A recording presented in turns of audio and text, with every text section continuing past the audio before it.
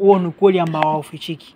Sasa kama watakuwa nyuma ya mitambo, mtu anaona kabisa hii kitu kinaenda kuiathiri timu yake, mm. unadhani atakuwa tayari kumuita mwamuzi wakati njoo njoo uangalie hapa kitu ambacho kimetokea? mm -hmm. Itakuwa ni ngumu, sio? Sio. Kwa bahati mbaya sisi pia wa Afrika eh, hisia na kazi tunashindwa kuvitenganisha. Hiyo ndio changamoto kubwa ambayo inatu, inatugharimu sisi wa Tanzania na Waafrika.